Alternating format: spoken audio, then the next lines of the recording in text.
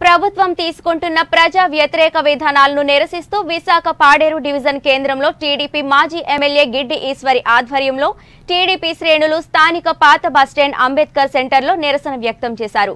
మూడు రాజధానులు వద్దు ఒక రాజధాని ముద్దు అంటూ నినాదాలు చేస్తూ ఐదు కిలోమీటర్ల పాదయాత్ర చేపట్టారు. ఈ సందర్భంగా మాజీ ఎమ్మెల్యే గిడ్డి ఈశ్వరి మాట్లాడుతూ రాష్ట్ర రాజధాని అమరావతికి చంద్రబాబు నాయుడు సంకల్పం ముప్పై మూడు వేల ఎకరాల భూమిని సిద్ధం చేశారని ఒకే చోట రాజధాని ఏర్పాటును ఏకీభవిస్తూ అక్కడి రైతులు స్వచ్ఛందంగా భూములు ఇచ్చారని తెలిపారు.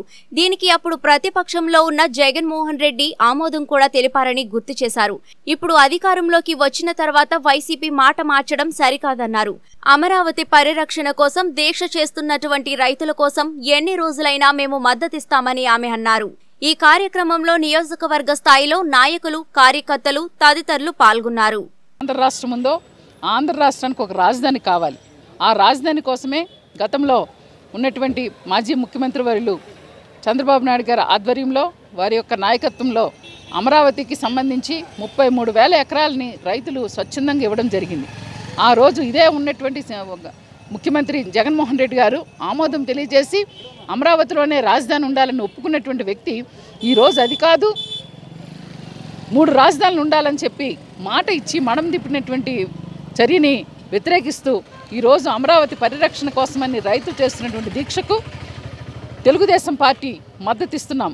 దాదాపుగా వాళ్ళు మూడు వందల రోజుల నుంచి దీక్ష చేస్తూనే ఉన్నారు. నేను ఒకటే చెప్తున్నాను.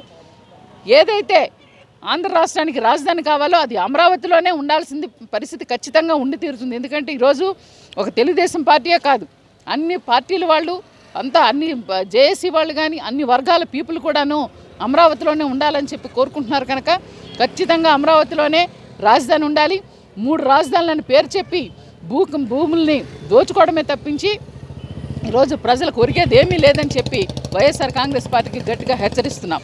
ఖచ్చితంగా తెలుగుదేశం పార్టీ అమరావతి పరిరక్షణ కోసం చేస్తున్నటువంటి రైతుల కోసం వాళ్ళు ఎన్ని రోజులంటే అన్ని రోజులు వాళ్ళ మేము దీక్షకు మేము మద్దతు ఇస్తామని అమరావతిలోనే రాజధాని పెట్టేంత వరకు కూడా తెలుగుదేశం పార్టీ పోరాటం చేస్తుందని మరొక్కసారి తెలియజేస్తుంది